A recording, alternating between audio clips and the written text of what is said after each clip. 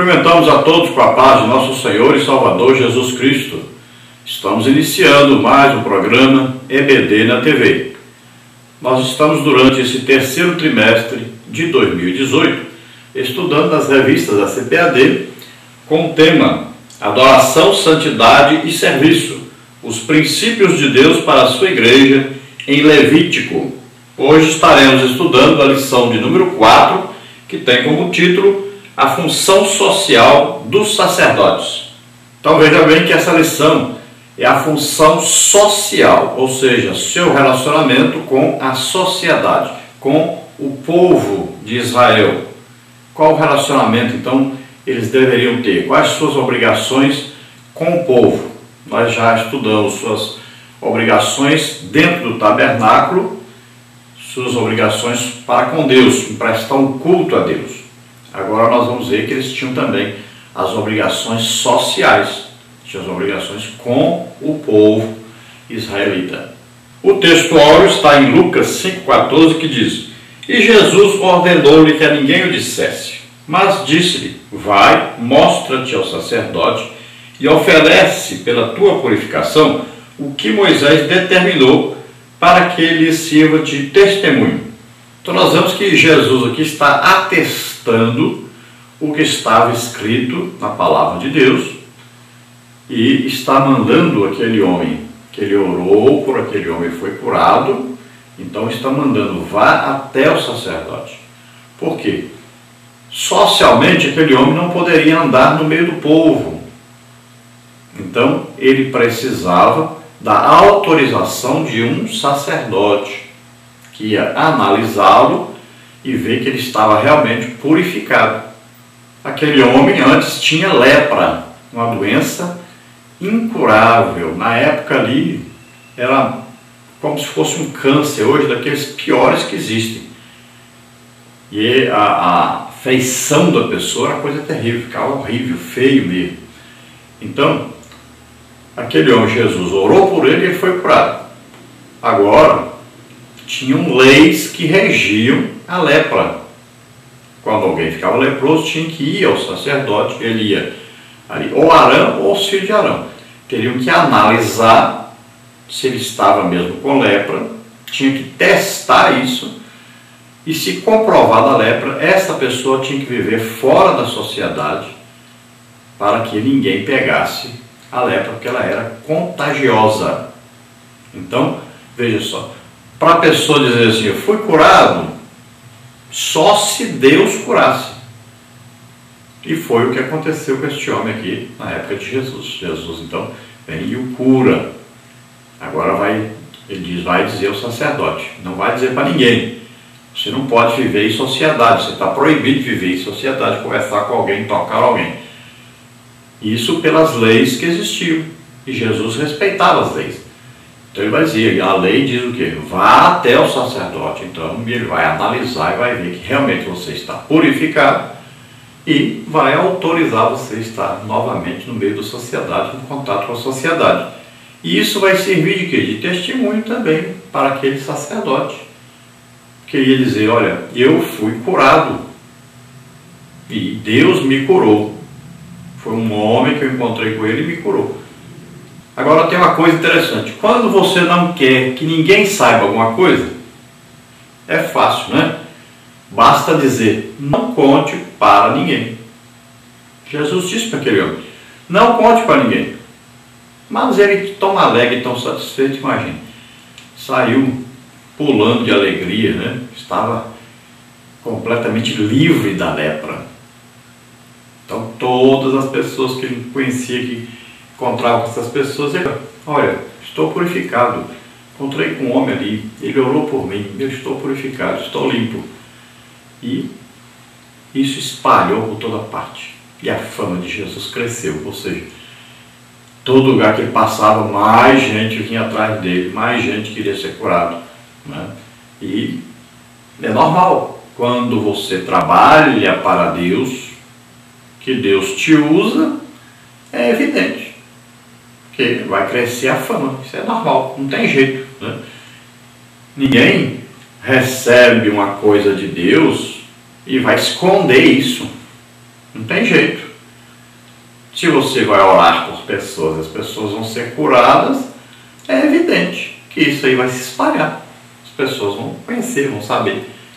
Eu recebo telefonema de pessoas do Brasil inteiro, até de fora do Brasil, para orar por alguma coisa. Jesus cura por telefone, pelo WhatsApp. Por que isso? Porque alguém já disse para o outro, ah, ele orou por mim por telefone, eu fui curado. Aí pronto, passa para outro, aí o outro já conta para o outro, o outro já conta para o outro. E assim mesmo que acontece. E Jesus, imagina, todo lugar que ele ia, a multidão acompanhava, porque todos diziam, ó, oh, Jesus está aí. Por que, é que você sabe? Não, o aleijado ali andou, o cego ouviu, né, o surdo ouviu, o endemoniado foi liberto. Aí, pronto, multidão ia atrás de Jesus. Eu vou também, eu preciso, eu estou doente, eu quero ser curado. Quem quer ser curado mesmo e sabe que Deus está fazendo milagre, não fica feito bobo, esperando, ah não, não vou lá não, Deus vem aqui. Não, quem está doente vai atrás, eu quero é ser curado. Quero lá saber o que, é que você acha, o que você não acha. Eu quero é ser curado. E é Deus, é coisa de Deus. Deus quer que todos sejam curados. Então tem que ir atrás mesmo. Não é atrás da pessoa, idolatrar a pessoa. Não mas Deus está usando uma pessoa, então é Deus. Eu vou aproveitar. Eu também quero ser curado. Por que não? Então, aquelas pessoas que criticam quem vai atrás para ser curado, é porque ele não está doente. Ele não sabe quanto que o outro gasta de farmácia por mês, não sabe quanto ele gasta de médico por mês, não sabe quantas noites ele perde doente, doendo as coisas. Então ele não sabe o sofrimento do outro, não entende. Mas é assim mesmo, então esse homem saiu alegre, satisfeito, dizendo para todo mundo, fui curado, fui curado. Quando as pessoas conhecem Deus ou recebem alguma coisa de Deus, ele quer contar para todo mundo.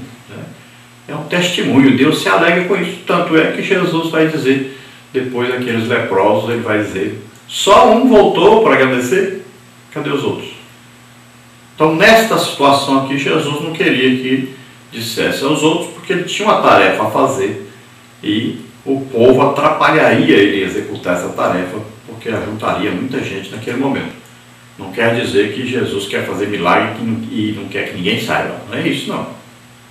O desejo de Jesus é curar todos. E é isso que ele fazia, ele curava todos. Onde ele ia, ele curava todos. Pode ver que ele se movia de íntima compaixão.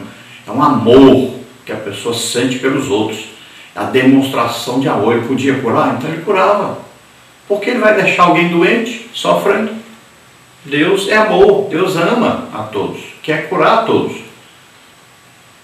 Então, nós temos que ter isso na nossa cabeça, esse amor pelas pessoas. Eu muitas vezes dentro do avião, eu oro. Outro dia eu viajei com uma médica do meu lado, ia ser operada no caroço do pescoço. Botei a mão, na mesma hora o caroço subiu. Não importa se é crente, se não é, Deus ama a todos. Outro dia estava no aeroporto, naquela cadeira que faz ali aquele, aquela massagem, tinha uma pessoa do lado com muita dor no joelho, na perna. E eu vendo, não era uma pessoa evangélica, mas orei e ela foi curada. Às vezes no meio da rua, enquanto com alguém, estou vendo a pessoa está sofrendo, sentindo dor, eu oro. Não importa se é crente, se não é, se vai aceitar, aceitar Jesus, se não vai. Deus ama a todos. Deus quer curar todos. Jesus não escolheu, vou orar só quem é aqui crente, só quem quer mesmo Deus. Não. Eu orava por todas as pessoas que ele encontrava que estavam doentes. A Bíblia diz bem claro, todos eram curados. Isso é demonstração de amor, de misericórdia. A verdade prática diz: as funções do sacerdote iam além da liturgia. Sua principal obrigação era zelar pela santidade e pureza do povo de Deus os sacerdotes ali, eles tinham a sua obrigação no tabernáculo de oferecer o sacrifício, né, manter as lâmpadas acesas, manter ali pão da proposição, manter ali o altar de incenso, né? Uma vez por ano entrava lá no Santo dos Santos o sumo sacerdote só. Então, isso tudo era uma organização para se prestar um culto a Deus a favor do povo. O povo precisava ser perdoado. Isso aí é um trabalho para perdão de pecados. Mas além disso, eles tinham outras obrigações. E aí é isso que nós vamos estudar nesta lição.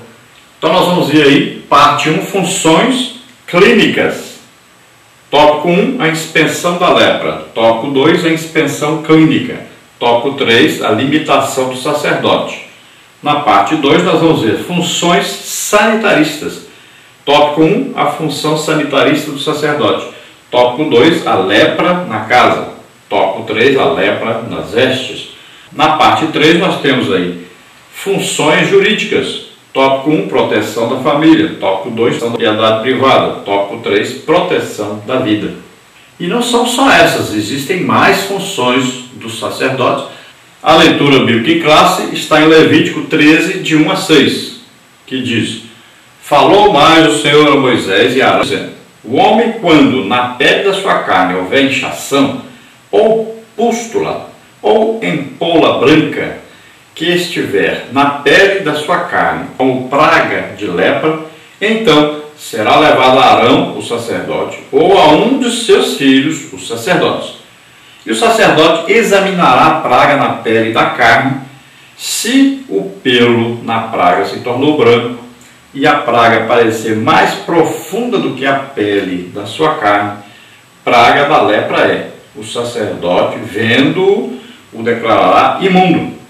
Mas se a empola na pele da sua carne for branca e não parecer mais profundo que a pele, e o pelo não se tornou branco. Então o sacerdote encerrará o que tem a praga por sete dias.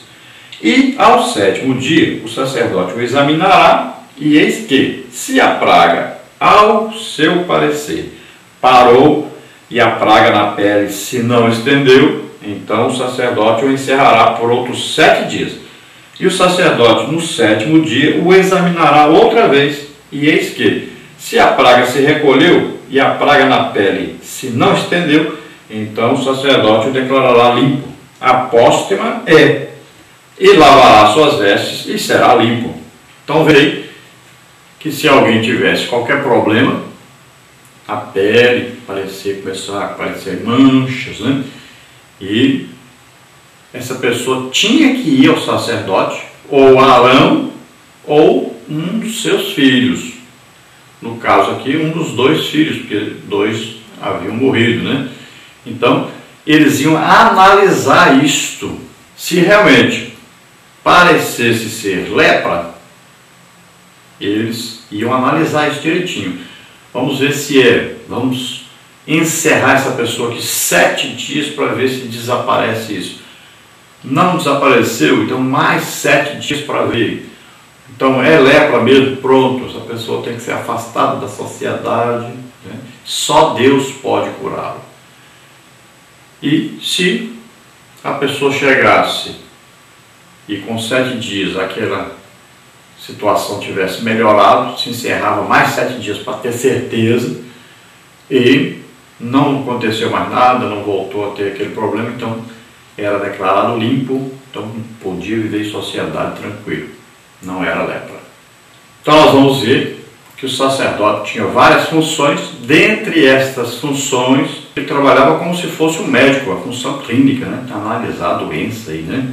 Como eles não tinham, tinha no Egito, ali não. Então eles tinham que exercer essa função como se fosse o que? Uma função preventiva da saúde. Se alguém tinha lepra, para não espalhar isso por todo lado, então o sacerdote analisava e afastava a pessoa para não pegar a lepra de todo mundo. O sacerdote também tinha função sanitarista. Veja bem que todos tinham que andar com a pazinha pendurada na cintura. Se fosse fazer as necessidades, tinha que fazer fora do acampamento, fazer um buraquinho no chão, fazer a necessidade dentro, tampar de novo aquele buraco, para não causar o quê? A presença de moscas né? e doenças que espalhariam entre todos. Então tinha aí que ter também isso, cuidar também disso, para que todos obedecessem às normas de convivência, do que fazer em cada situação. Era muito interessante, muito organizado isso. É só o povo escolhido por Deus mesmo, separado por Deus, para fazer tudo bem organizadinho. Até, até a, até a montagem do acampamento, cada um tinha um lugar de se colocar a sua tenda, tudo organizado. A tenda dos levitas ficava ali pertinho do tabernáculo. Tinha todo um esquema montado. E se precisasse chamar de repente, se houvesse uma guerra, as trombetas soariam, o tipo de troque da trombeta, tudo era identificado. Então, tudo isso, o sacerdote estava na organização de tudo isso. Ele era superior a todos para vigiar isso, fiscalizar tudo isso. E isso é uma função que é uma função urbanista. Ele tinha que visitar as casas, saber quem estava doente, quem não estava. A, a, comida era regulada, o que, que se pode comer, o que, que não pode comer. Tudo era regulado. Tudo tinha norma. Então aquele povo tinha normas rígidas de convivência e de subsistência, tudo organizadinho. Os sacerdotes tinham que julgar todas as causas. Se o marido estivesse brigando com a mulher, ele tinha que ir lá resolver. Os filhos brigando com os pais, ele tinha que ir lá resolver. Todas as situações que o povo tinha, ele tinha ali que estar presente e tinha que julgar aquela causa. Ele andava nas casas para ver se tinha lepra nas casas, se as pessoas tinham lepra. É um trabalho realmente complicado, difícil. Imagina, era uma multidão de gente e eles tinham que fazer isso. Então não era só ficar dentro do tabernáculo. Se nós colocarmos para hoje, imagine o pastor, as obrigações do pastor são muitas obrigações. Tudo isso do sacerdote aqui o pastor deve estar fazendo. Por isso que eu vejo na palavra de Deus que um pastor ele não pode trabalhar secularmente. Ele não dá conta de fazer o trabalho dele, nem o trabalho essencial na igreja. Imagine trabalhando aí 8 horas, 10 horas fora da igreja, secularmente. Não vai dar conta de fazer praticamente nada. Não vai ter tempo para orar, para jejuar, para visitar as pessoas, nada. Então é importantíssimo que o pastor Confie em Deus, tenha fé em Deus, que Deus vai tratar dele e da sua família. E ele se dedica exclusivamente ao trabalho do Senhor. Então, essa parte de visitar, aconselhar, é um trabalho civil do sacerdote. Tem também a parte administrativa, né? vai administrar tudo aquilo, como é que vai funcionar. Então, ele tem que organizar, ele vai aconselhar ali, dar um palpite ali e tal, vai dizer o que, que é melhor, e aí vai aconselhando, vai visitando as pessoas, participando da vida em sociedade. E até a parte judicial, é ele também que tomava as decisões. Se alguém queria vender uma coisa, se alguém queria comprar, tudo o sacerdote tinha que participar. Era uma coisa tremenda. Se alguém ofendesse o outro, brigou um com o outro, um vizinho com o outro, tudo ele tinha que participar, tudo ele ia julgar, todos ele, até coisas particulares e íntimas. Veja só, por exemplo, a mulher, sete dias que ela estava menstruada, o homem não podia sentar no mesmo lugar que ela, não podia ter contato sexual com ela. Era proibido. Hoje as pessoas parece que nem estão aí para a palavra de Deus. Mas Existe isso e deve ser seguido. Durante sete dias, a mulher está na sua separação. Não pode o homem ter ato sexual com a mulher durante a sua menstruação. Hoje, o problema do sentar, por exemplo, foi resolvido. Né? As mulheres usam preservativo, naquele tempo não tinha. Você usava pano mesmo. Então havia o perigo aí do contágio. E isso causa problemas na pessoas que vão ter esse contato com a mulher que está na sua menstruação. E isso é evidente, mas as pessoas esquecem disso. Mas é verdade. Então, são regras que Deus criou para o bem-estar social. Por exemplo, a mulher teve um filho homem, ela tinha que ficar 40 dias, de resguardo, 40 dias sem ter ato sexual com seu esposo. É um resguardo, está na palavra de Deus. Hoje, parece que as pessoas não estão nem aí, não seguem. Isso se fosse filho homem. Se fosse um filho mulher, uma filha, seriam 80 dias de resguardo. Não poderia ter nenhum tipo de ato sexual entre o homem e a mulher enquanto não cumprisse esse resguardo. E tudo isso o sacerdote estava ali fiscalizando, tudo. Então haviam várias normas, até norma, por exemplo, de mexer no ninho de passarinho. Lá dizia, se você encontrar um ninho de passarinho, não pegue a mãe com o filhote, pegue só o filhote. Deixa a mãe lá, que ela vai botar ovo e outro filhote vai nascer. Não pegue a mãe e o filhote junto, que você está acabando com aquela família. Olha aí, uma norma que da natureza, né? plantar árvores, né? também existia isso, faziam aliança, se plantavam árvores. Abraão fez isso, plantou um bosque inteiro. Então, são normas. E o sacerdote tinha que fiscalizar isso, tinha que julgar tudo isso. É um trabalho muito grande que os sacerdotes faziam. Hoje as pessoas, qualquer coisinha que o pastor for dar um conselho, for tentar corrigir, indicar o que é mais certo fazer, as pessoas já ficam logo sacadas, está se metendo na minha vida. Mas o trabalho dele é esse mesmo, é se meter na sua vida, é ajudar você o caminho certo, fazer as coisas de acordo com Deus, com a palavra de Deus, de acordo com a orientação de Deus. Então é importante você às vezes não gosta, que o pastor nem pregue alguma coisa que serviu para você, você já fica zangado. Imagine, ele tem que ir na sua casa. Ele precisa saber do seu segredo e ajudar você e orientar você. Imagine, você só da pessoa pregar, você já está zangado. Então, nós estamos vivendo uma época dificílima, que as pessoas nem podem mais ouvir que estão errados. E Deus fala na igreja, fala para as pessoas, ele sonda, o Espírito Santo vai sonda o que cada um precisa ouvir. E ele vai falar para corrigir, para orientar, é para ajudar, é para você e para o céu. Então nós temos que nos submeter à palavra de Deus, ouvir atentamente o que Deus quer falar conosco, para nós vivermos segundo a sua vontade. Nós queremos ir para o céu. Então temos que obedecer, temos que ouvir Deus. A introdução da lição diz o seguinte: Além de zelar pelo culto do Senhor, os sacerdotes tinham ainda como função inspecionar a saúde de Israel, fiscalizar-lhes as moradias e regular-lhe a vida social e jurídica. Nesse sentido, eles podem ser vistos também como médicos, sanitaristas e juízes. Todavia, sua função mais importante era conduzir o povo na lei de Deus, a fim de torná-lo propício ao Senhor que exige de cada um dos seus filhos santidade, pureza e distinção. Vejamos, pois, como os sacerdotes levaram os israelitas a ser o povo mais ordeiro, distinto e saudável do seu tempo. Então veja, aquele povo era diferente de todos os povos à sua volta. Todos.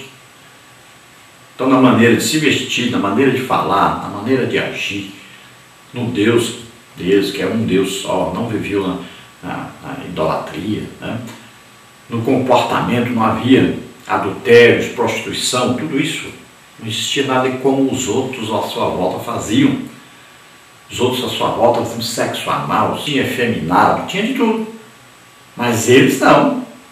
Eram diferentes de todos os povos à sua volta.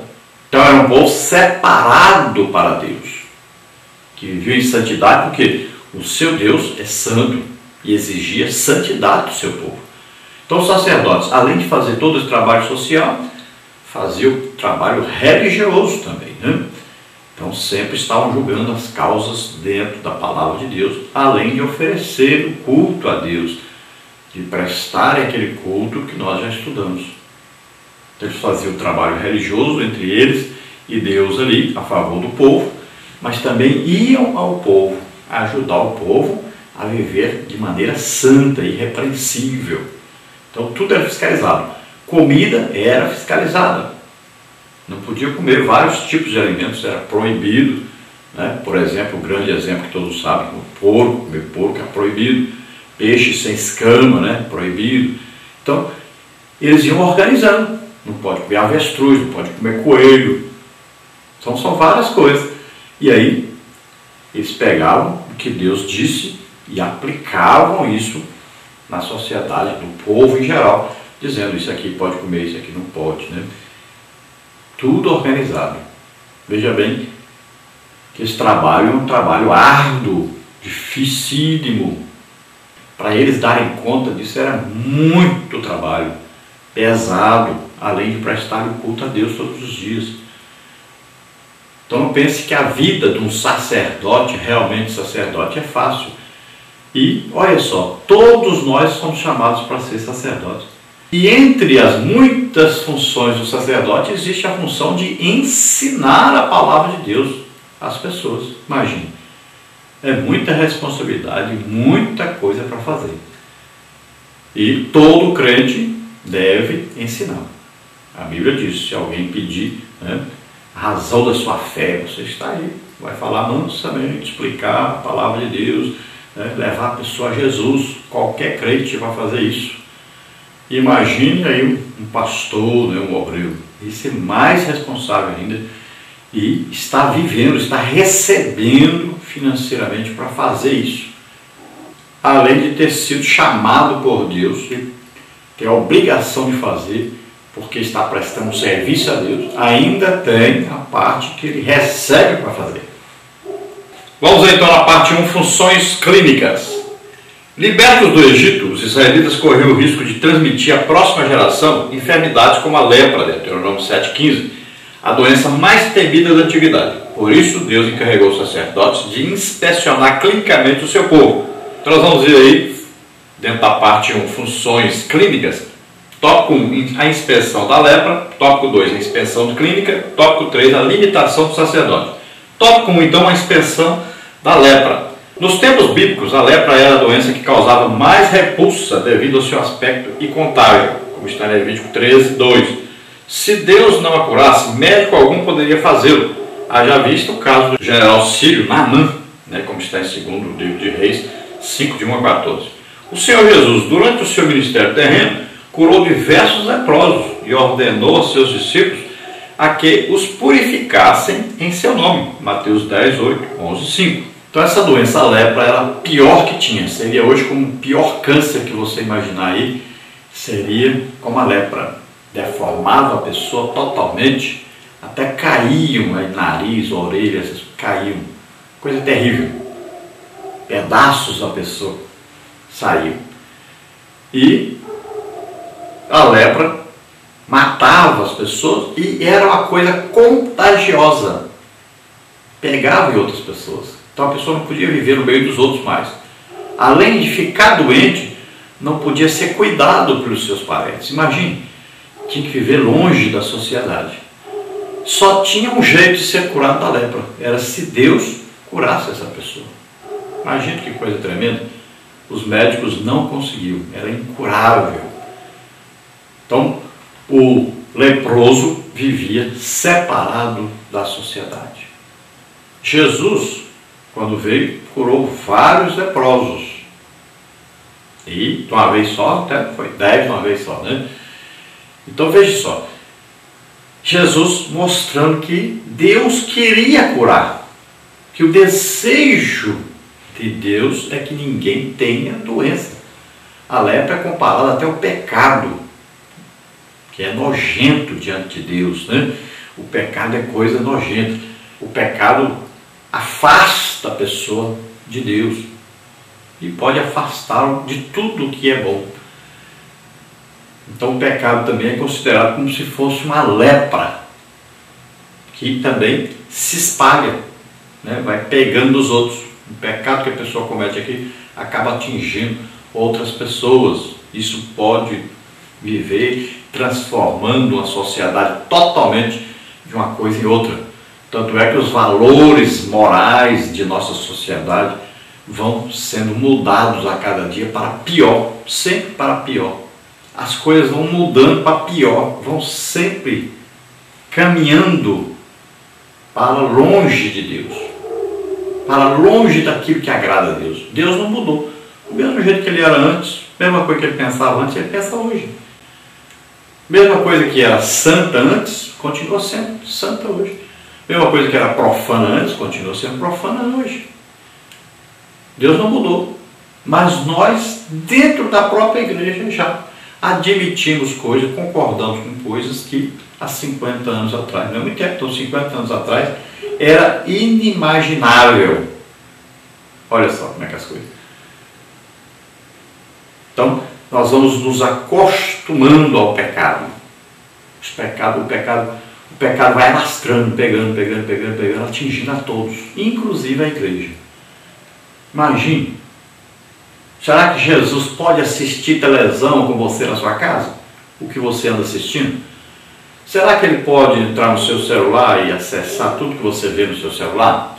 No seu computador, será que ele pode ficar aí do seu lado vendo tudo que você vê lá, assiste lá, fala lá? Será que Jesus pode ficar na sua casa, passar um dia na sua casa, o um dia inteiro? Então veja só. Mas Deus quer que você seja santo, separado. Nada pode ser mais importante que Deus. Então nós temos aí o caso de Naamã, por exemplo, para você entender como é que era a lepra. Né? Naamã foi procurar o profeta de Deus, porque estava com lepra. Olha, Naamã, quando colocava sua armadura, estava diante do exército, ele era o primeiro lá, depois do, dos, dos reis, ele era o primeiro, estava acima de todos. Então ele era uma pessoa importantíssima, querida, né? respeitada, lá na rua. Mas quando ele chegava dentro de casa, que ele tirava a armadura, então ele se sentia o pior dos homens. Era o mais indesejável dos homens. Com lepra, estava condenado a morrer, todo deformado. Imagine. Muitas vezes você está vivendo essa situação. Lá fora, na igreja, no seu trabalho, as pessoas te conhecem de um jeito. Mas dentro de casa, a sua esposa sabe quem é você. Seus filhos sabem quem é você. E aí a lepra aparece. Você vive em pecado. Muita gente está vivendo assim. Mas assim como Naamã foi curado, você também pode ser. Jesus trabalhava de carpinteiro.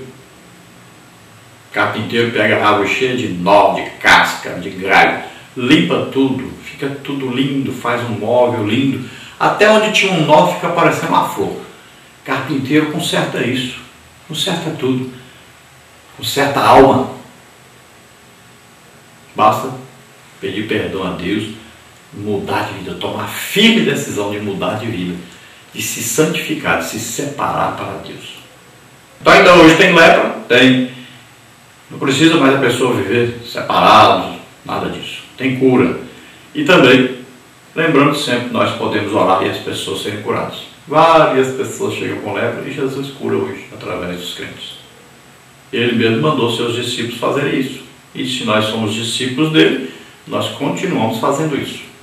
Tópico 2 é a inspeção clínica. Em sua peregrinação à Terra Prometida, os israelitas não contavam com médicos e sanitaristas. Era um luxo restrito aos egípcios, como está em Gênesis 52. Por isso, Deus encarrega os sacerdotes de inspecionar a saúde pública de Israel. Sempre que alguém apresentava algum dos sintomas da lepra, deveria encaminhar-se ao sumo sacerdote para ser examinado, como está em Levítico 13, de 1 a 37. De acordo com o diagnóstico, o paciente era declarado limpo ou impuro. Se constatada a doença, o enfermo era imediatamente separado da comunidade para evitar uma epidemia, como está em Levítico 13, 46. Então, se fosse constatado, né, a pessoa está com lepra, tinha que ir ao sacerdote, ele examinava, está com lepra, separava a pessoa. Não podia viver mais no meio dos outros para não contaminar a todos. Então já ficava só, morando sozinho, fora do acampamento. No caso, quando era cidade, fora da cidade mas aqui ainda era acampamento. Então a pessoa tinha que viver lá fora, afastado de todos. Então o leproso era proibido entrar em qualquer cidade também, não podia entrar. O leproso tinha que andar vestido de roupas bem velhas, rasgadas, o cabelo todo atrapalhado, e andar dizendo o tempo todo, andando e dizendo, imundo, imundo, imundo, para ninguém encostar perto dele. a sociedade muitas vezes exigia que ele ficasse a 100 metros de distância de qualquer pessoa e ainda colocasse um sininho no seu calcanhar, quando ele chegasse em qualquer lugar todo mundo sabia, ali está o imundo, não podemos nos aproximar. E é interessante que você vai ver no caso da cura do leproso que Lucas era médico. Quando ele narra isso, ele sabe o que ele está falando, está narrando uma coisa que ele sabe. Então Lucas vai dizer a palavra plebes, que quer dizer cheio de lepra. Estava cheio mesmo. Todo o corpo estava em estado terminal quando Jesus cura esse leproso da leitura que nós fizemos hoje. Então qual a identificação? Como é que o sacerdote sabia? Então tem certas características peculiares daquele que está com lepra. Algumas são, olha, manchas brancas, feridas ou nódulos, perca de sensibilidade, perca dos pedaços do corpo, a pele passava a possuir lesões, feridas e apodrecia a carne do leproso, o mau cheiro e o aspecto físico eram insuportáveis, só restava a morte para essa pessoa. Então a pessoa, além de ficar doente, ainda era excluído da sociedade e, além disso, era considerado um pecador.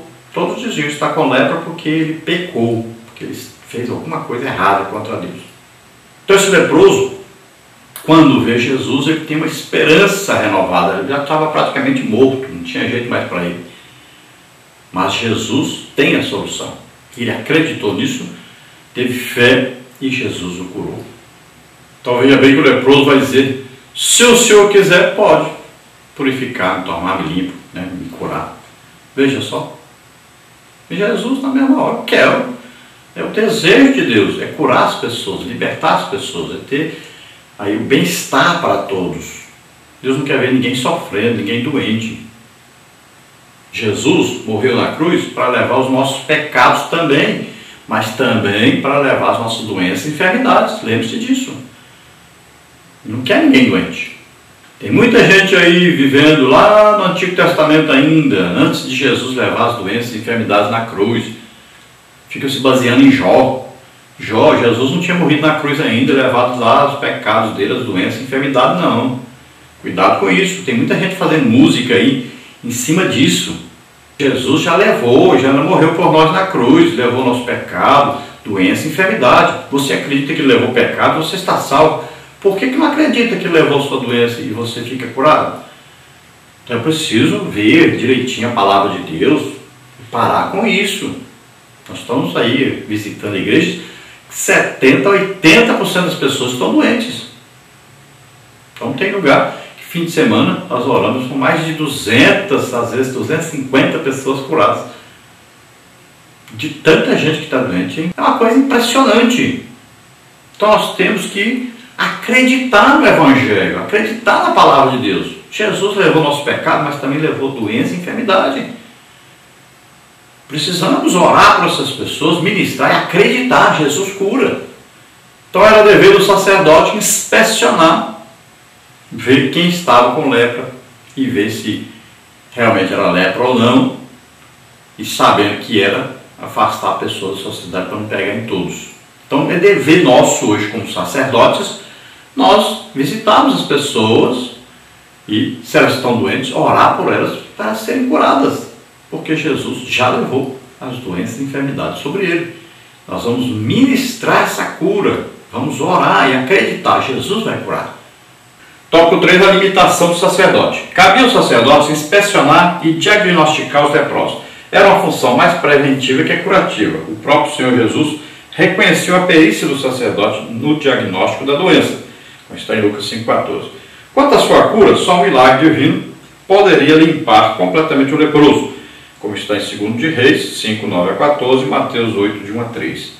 Hoje, apesar dos avanços da medicina, a lepra, modernamente conhecida como hanseníase, ainda é uma enfermidade assustadora. Entretanto, já não há mais a necessidade de isolar os indivíduos, pois há tratamentos efetivos que curam os portadores da doença. Então, os sacerdotes tinham que analisar e Jesus confirma que realmente eles poderiam fazer isso.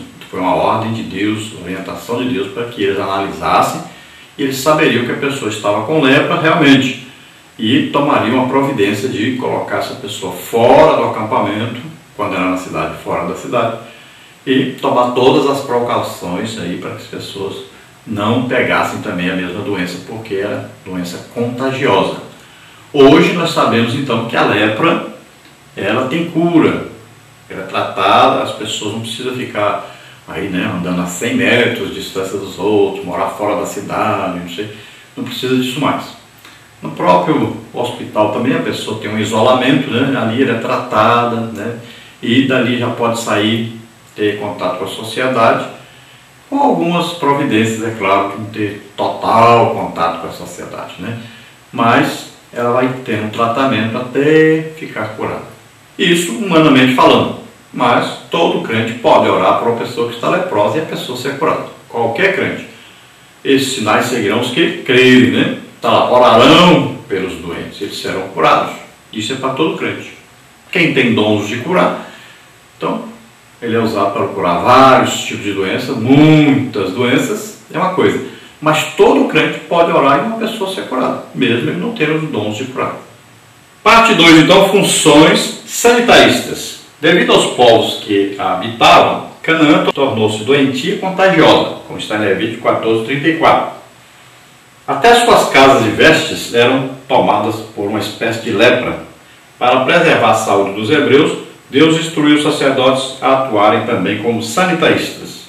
Então, tanto no Egito havia lepra, e alguns saíram de lá com lepra, como também na terra de Canaã haviam muitas pessoas com lepra. Quando o povo de Israel saiu do Egito, eles foram curados. Não havia um só doente ou enfermo. Mas uma leva de gente, ou seja, muitas pessoas egípcias, acompanharam o povo de Israel.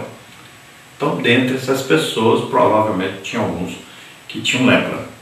E na terra de Canaã também. Então, Deus fala isso em Levítico, dizendo que na terra poderia haver lepra e era uma coisa de Deus, era uma maldição de Deus sobre aquele povo. Então, inclusive na casa dos israelitas, né, poderia de repente aparecer lepra, ou nele, ou na casa dele. Olha só, era o sinal de que estavam vivendo em pecado. Deus orientava então o sacerdote a visitar, descobrir onde é que tinha e isolar a pessoa, afastar a pessoa. Quando era casa, se fosse comprovada a lepra, até as pedras eram arrancadas, muitas casas às vezes não tinha jeito, continuava a lepra, tinha que ser queimada aquela casa, tudo dentro da orientação de Deus. Vamos então na parte 2, funções sanitaristas. Tópico 1, um, a função sanitarista do sacerdote. Tópico 2, a lepra na casa. Tópico 3, a lepra nas vestes. Tópico 1, um, então, a função sanitarista do sacerdote. O sanitarista é um especialista em saúde pública sua função é basicamente preventiva. Manter a cidade livre dos focos de doenças e infecções é o seu trabalho prioritário. Nesse sentido, cabia aos sacerdotes inspecionar as casas e roupas em Israel, Levítico 14, 34 a 57. Então, quando a lepra aparecia em uma pessoa, a pessoa tinha que ir ao sacerdote, ou alguém da casa né, avisava o sacerdote, iria lá e analisar isso se a pessoa não fosse até ele. Às vezes a pessoa já estava com a lepra avançada, não podia nem andar mais. E o sacerdote ia fazer o quê? Ele ia analisar também a casa e as roupas daquela casa. Porque a lepra podia estar na casa, as paredes da casa, poderia estar também o quê? Na roupa da pessoa. No caso das tendas, né?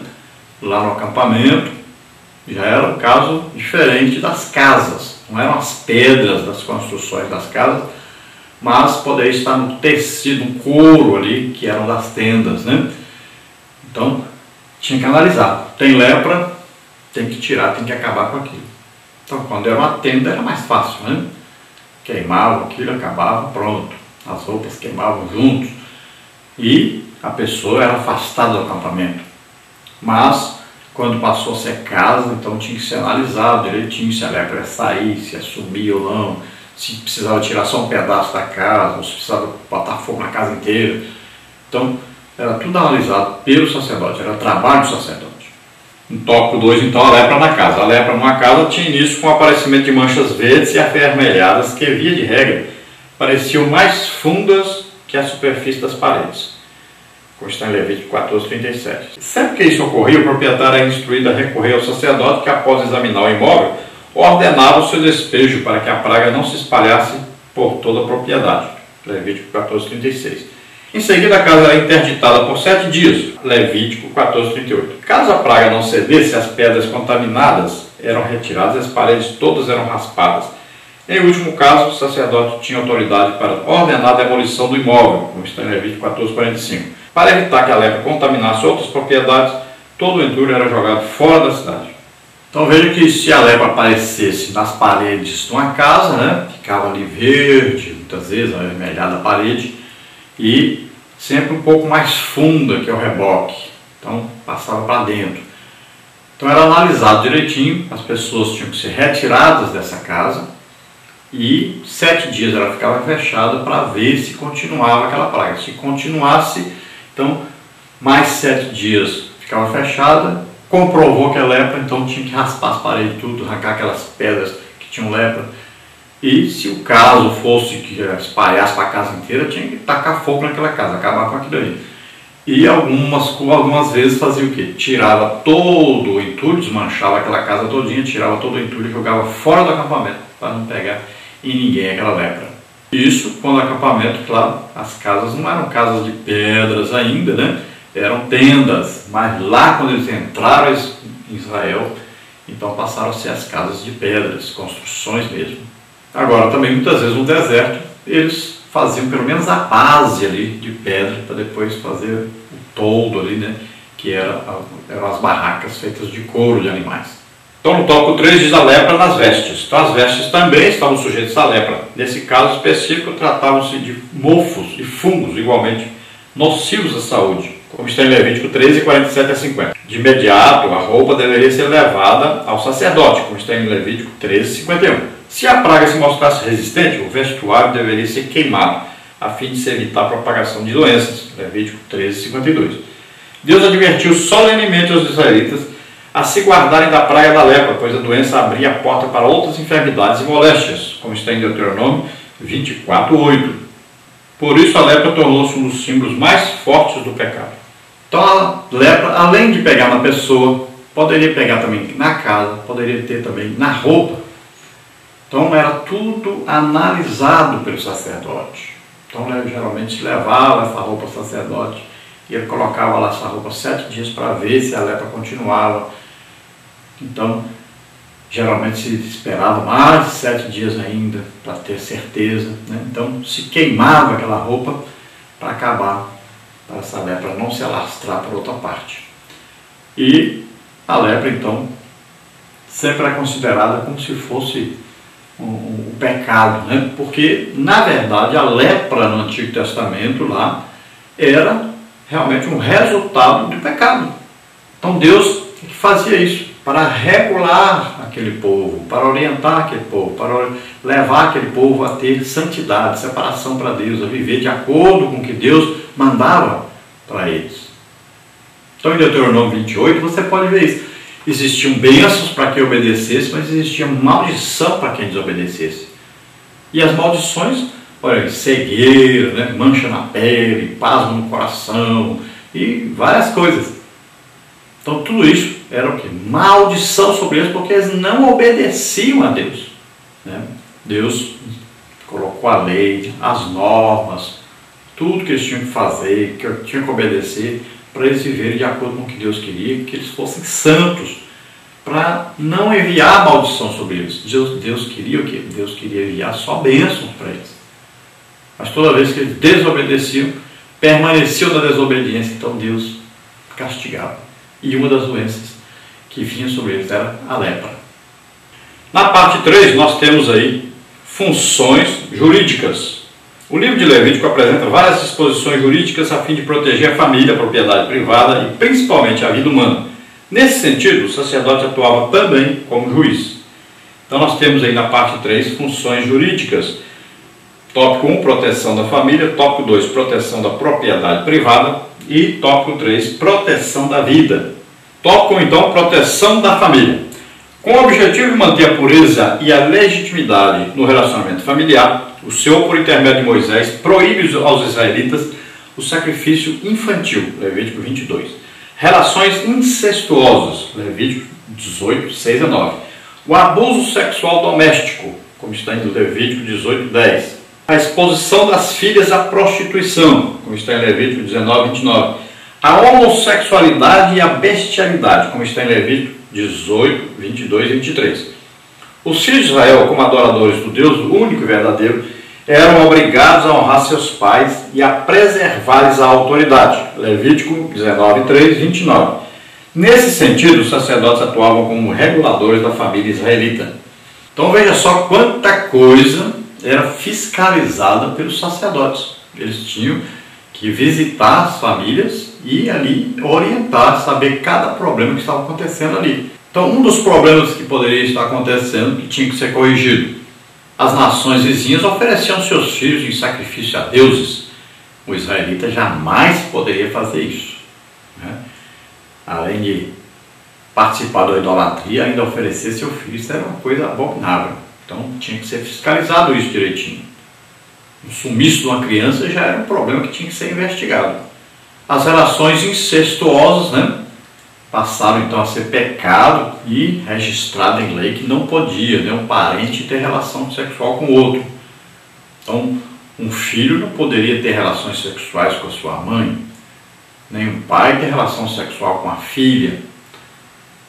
E os parentes também já começou a ser proibido, então, ter relacionamento sexual com parentes, parentes próximos, né? Era tudo fiscalizado, o adultério não poderia, o homem não podia ter duas mulheres, nem a mulher mais de um marido, não poderia se vender filhos para ser escravos, ganhar dinheiro com isso. Então são coisas que foram sendo fiscalizadas. O sacerdote tinha que fazer isso, tinha que visitar as casas e ver o que, que estava acontecendo. Então aí, homossexualidade, por exemplo, lá, com homem não te deitarás como se fosse mulher, está lá na Bíblia, né? Com animal não te deitarás. Então, tudo isso estava lá e tinha que ser fiscalizado. Isso que acontece na sociedade hoje para todo lado aí.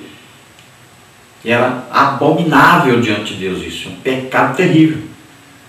E o povo de Israel não podia fazer e era fiscalizado para ver se alguém estava fazendo.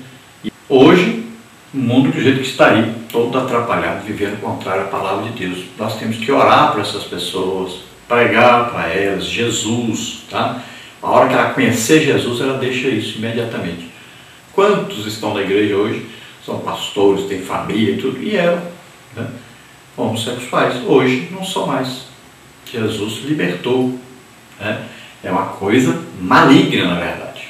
Mas Jesus conserta tudo isso. Veja que Sodoma e Gomorra também existia isso lá. Por isso que hoje fala pecado de sodomia. Né?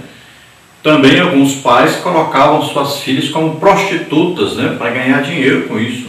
Então, era tudo fiscalizado pelos sacerdotes. E muitas pessoas morriam por causa dessas atitudes que tomavam contrárias à palavra de Deus. Muitas vezes a lepra vinha sobre aquela casa, sobre a pessoa, também como punição por aquele pecado. Tópico 2, proteção da propriedade privada. A propriedade privada de Israel era sagrada, uma dádiva de Deus ao seu povo. Êxodo 3, 7, 8, 1 de Reis 21, 3. Por esse motivo, os israelitas deveriam tratar suas casas e campos de maneira amorosa e responsável, como está em Levítico 19, 9. As coletas deveriam ser feitas de maneira a atender à carência dos mais pobres, Levítico 23 e 22. Sendo, pois, a terra propriedade do Senhor, não poderia ser explorada de maneira irresponsável e contrária à natureza, Levítico 25, 3 e 4. Do texto sagrado, depreendemos que o sacerdote tinha por obrigação supervisionar o uso sustentável da terra. Por incrível que pareça, o sacerdote tinha também que fiscalizar o uso da terra. Veja só. Por exemplo, era proibido semear dois tipos de sementes juntas no mesmo campo. Tinha que ser num campo a semente e fazer uma cova ali, separar o terreno do outro e do outro lado fazer outra plantação.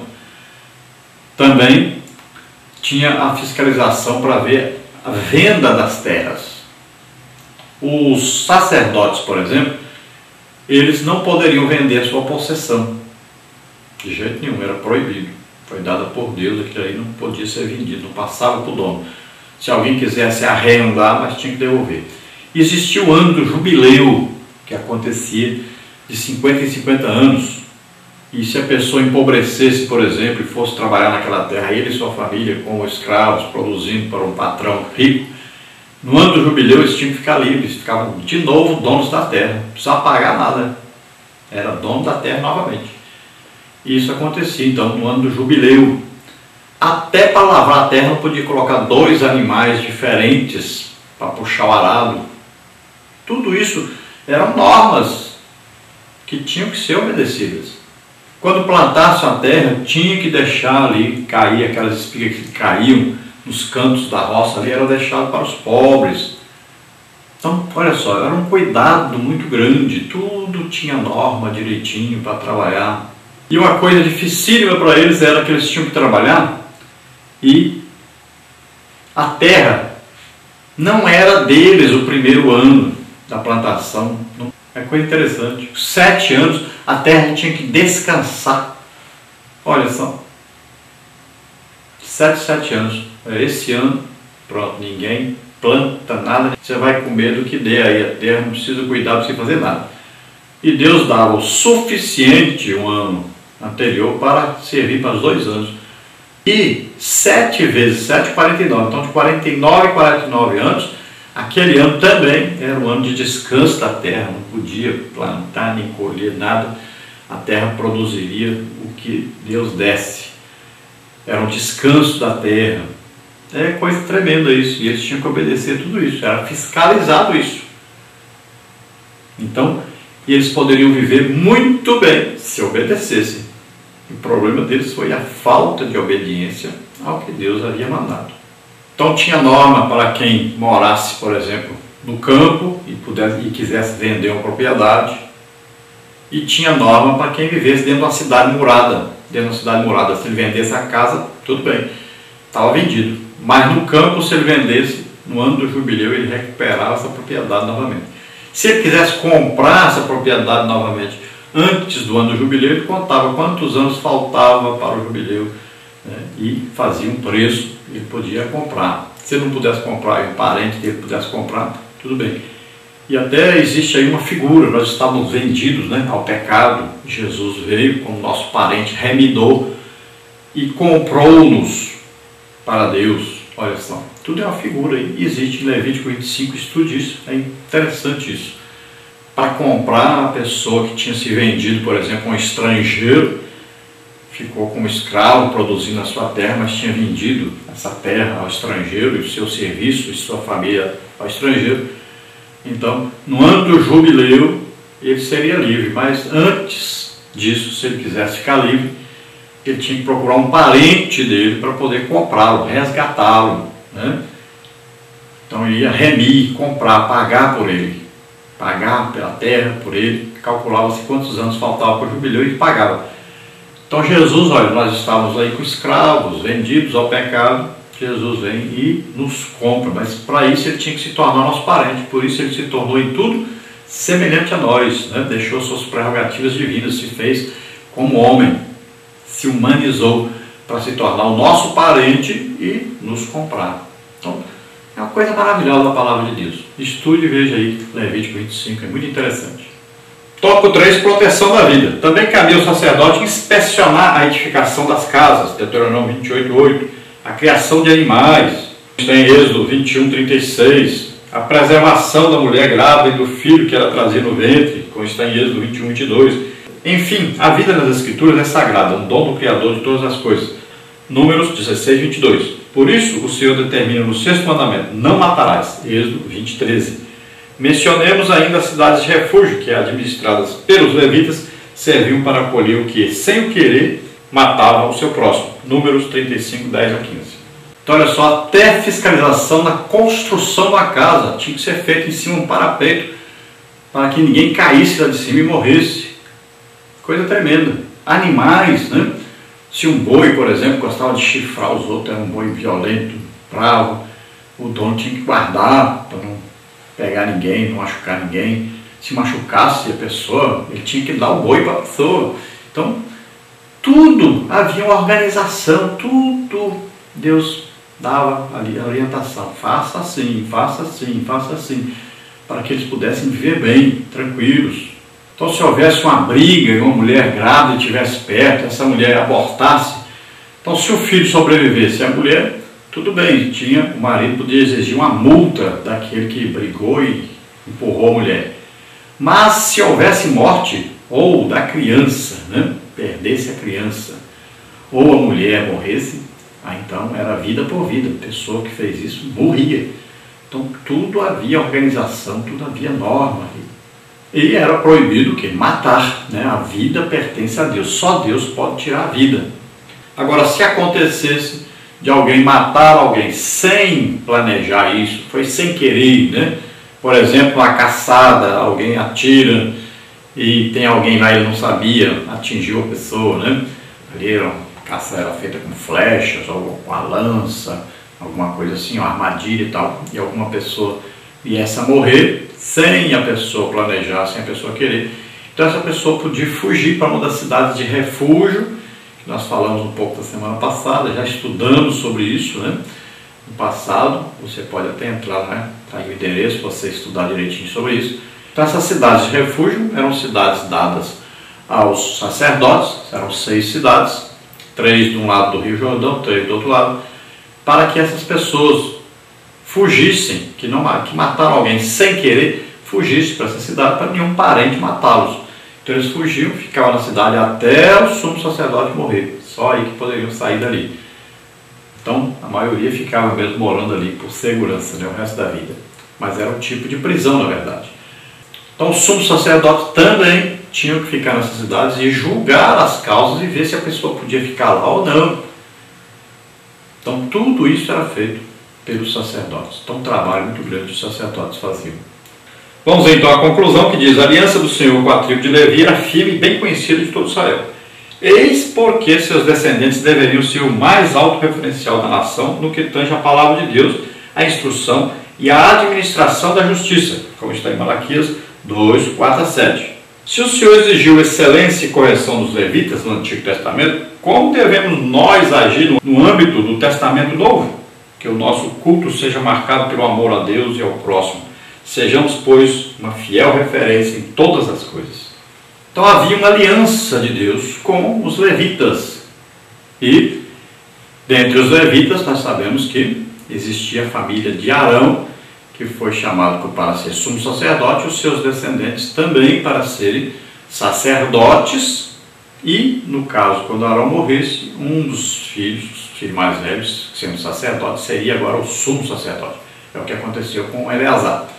Então veja só que todos esses aí, tanto Arão como Moisés, né, existiria uma tribo descendente de Levi, que era filho de Jacó toda essa tribo, todas essas pessoas, que eram 22 mil homens da idade de 20 anos para cima, todos eles estavam a cargo do serviço de Deus, foram chamados para fazer o serviço de Deus. Eles foram chamados para que substituíssem o povo de Israel. Então, eles eram ali o pagamento exigido por Deus por cada filho primogênito de Israel. Veja só. Então esse povo era de Deus, pertencia a Deus, e eles trabalhavam para Deus. 22 mil levitas. Dentre esses 22 mil, existiu então, existia aí a família de Arão. E dessa família de Arão, é, o Arão, sumo sacerdote, seus filhos, sacerdotes. Os outros levitas não eram sacerdotes, só esses aí. E aí desta família é que vão surgir todos os outros sacerdotes daí para frente. E o sumo sacerdote sempre filho de Arão, depois que, na, que morrer esse, aí o outro filho dele assume e vai assim, passando de pai para filho, sumo sacerdote descendente de Arão. Então era exigido uma santidade muito grande desses homens, desses sacerdotes. E se nós, todos os crentes hoje, somos sacerdotes, imagine, então é exigido de nós um alto padrão de vida santa, irrepreensível diante de Deus. Então temos a responsabilidade de, diante de toda a sociedade em que vivemos, nós sermos exemplo para eles, exemplo de santidade e dedicação a Deus. E também exemplo de amor às pessoas. Vamos amar as pessoas, vamos ajudá-las, vamos orar por elas, para que elas sejam libertas, para que sejam curadas, né? para que conheçam Jesus Cristo como Senhor e Salvador, como o único Senhor e Salvador. Então, é nossa obrigação, diante da sociedade, de representarmos Deus. Somos todos sacerdotes do Deus Altíssimo. Então, nós vamos orar agora. Se você deseja entregar sua vida para Deus, é sua oportunidade de aceitar Jesus como único Senhor e Salvador. Se você está doente ou enfermo, estaremos orando agora para que você seja curado. Se você estava vivendo uma vida meio aí atrapalhada, não estava sendo sacerdote realmente, então tanto faz ser mulher como homem, então você quer mudar, quer começar uma vida nova diante de Deus. Todo crente é sacerdote, tanto faz ser homem como mulher. Nós não estamos falando de cargos eclesiásticos, estamos falando de um chamamento de Deus a todos para serem sacerdotes diante dele, para imitar Jesus, né? para sair pregando o Evangelho a toda criatura, ministrando essas pessoas o amor de Deus. Então, vamos orar juntos agora. Pai querido, em nome de Jesus, recebe por filhos aqueles que chegam a Ti agora arrependidos dos seus pecados. Ó Senhor, que eles conheçam a Jesus Cristo, Teu Filho, como único Senhor e Salvador. Abençoa essas vidas, perdoa seus pecados. Escreve seus nomes no livro da vida, Senhor. Ah, graça custenebe farsai. A graça te alcançou. Deus te alcançou agora, te mostra a salvação, a libertação, te mostra agora uma vida nova, em nome de Jesus. Viva uma vida santa, irrepreensível, separada para Deus. Você que está nos ouvindo, em nome de Jesus, mude de vida, se arrependa, entregue sua vida a Deus, consagre-se a Deus, em nome de Jesus. Pai, em nome de Jesus, eu te peço agora que venha sobre essas vidas o teu poder. Jesus, coloca a tua mão saradora agora, Espírito Santo, vem com poder sarador, em nome de Jesus. Solta essas vidas, toda doença, toda enfermidade. Toca, Senhor Deus, agora. Ramacha, Em nome de Jesus. Amém. Glória a Deus. Aleluia. Se você deseja nos convidar para estarmos aí com você, em sua igreja, em sua cidade, entre em contato conosco. Está aí o nosso telefone, 99 DDD e o telefone 991520454. Nosso e-mail, henrique, L-H-A-S, henriquelhas, arroba hotmail.com ou henriquelhas.gmail.com. Então você entre em contato conosco e nós estaremos aí com você. Não se preocupe, eu não cobro nada, você dá a oferta que desejar, não tem problema. Eu não dirijo igreja e nem tenho trabalho secular. Então você nos oferta com quanto quiser, não se preocupe com isso. Então você nos convide e nós estaremos aí com você, em sua igreja, na sua cidade. Não importa que tamanho a sua igreja, nós teremos todo o prazer de estarmos aí. Nós vamos passar para você agora a nossa agenda, onde nós estaremos nos próximos dias, para que você não marque a mesma data. Então você entre em contato conosco, nós podemos estar aí com você. Nós fazemos palestras sobre qualquer tema, não precisa preocupar. Se você quer falar sobre escola bíblica dominical, que é uma palestra só para professores, superintendentes, interessados, para obreiros, não importa. O que você quiser, nós estamos aí, sendo dentro da palavra de Deus, nós estaremos ensinando a palavra de Deus, estaremos orando pelos enfermos para que sejam curados. Podemos orar para Jesus batizar no Espírito Santo, para libertar. Então, nos convide, estaremos aí com você. Vamos passar a nossa agenda então. Então, nossa próxima agenda aí é dia 5 do 8 agora, 5 de agosto, lá na rua Dom Pedro II, 2153, Imperatriz Maranhão. É lá na igreja Batista Nacional Shalom, a igreja pentecostal. Depois nós estaremos aí, dia 24 do 8, na congregação na Vila Santa Luzia, veja aí, ó, Avenida Santa Luzia sem número, bairro Vila Santa Luzia, Imperatriz Maranhão, congregação Unção Divina. É uma festa da família. Família Projeto de Deus. Então, dia 24 do 8, depois, no dia 23 do 9, nós estaremos em Perimirim, lá em Tucunzal, festa do aniversário da igreja. Nós teremos um EBD avivado de manhã e à noite a pregação. O tema da festa lá é Jesus, a verdade que liberta. Dia 29 e 30 do 9, nós estaremos em São José dos Campos, São Paulo, na palestra de EBD aí na Assembleia de Deus, Ministério Belém, pastor Daniel Santos, né, vice-pastor Claudinei e o superintendente da EBD, o pastor Gilberto, e o seu vice, o Diácono Sandro. Dia 2 do 10 até 8 do 10 eu estarei em Fortaleza, Ceará. Se alguém de Fortaleza, Ceará se interessar dentro dessa data aí, de dia 2 do 10 a 8 do 10, que eu esteja em sua igreja, entre em contato comigo. Provavelmente eu vou poder estar em alguma igreja aí. Dias 19, 20 e 21 do 10, nós estaremos em Cuiabá, Mato Grosso. Palestra de EBD lá na Igreja Central, Igreja Assembleia de Deus, Nova Aliança, pastor presidente Edivaldo José. Dias 3 e 4 do 11, estaremos em Barueri, São Paulo, na Assembleia de Deus, ciclo de oração com a irmã Rosimeire, Jardim Paulista. Dias 16, 17 e 18 do 11, estaremos nas Ilhas Martas Viney, Estados Unidos, lá em Ocas Bulls, lá na Igreja Evangélica Assembleia de Deus, Semear. Lá será o 12 Congresso da Mocidade Voz Pentecostal. Pastor presidente é o pastor Darcy, o vice-evangelista Josué. Número 60, Pacífica Avenida, Oak Bluffs, Massachusetts. 24 e 25 do 11 estaremos em Japeri, Rio de Janeiro, curso de capacitação para professores. Domingo pela manhã, amanhã avivada, de noite vamos aí orar e ganhar almas. Tem a cidade aí de Japeri, Igreja Evangélica Assembleia de Deus. Então essas são as agendas marcadas, você marca uma outra data que nós estaremos com você aí na sua igreja. A paz do Senhor a todos.